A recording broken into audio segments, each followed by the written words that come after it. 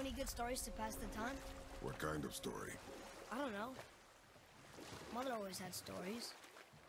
Weren't you told me when you were a boy? There was a man I knew of long ago. His stories were brief and purposeful.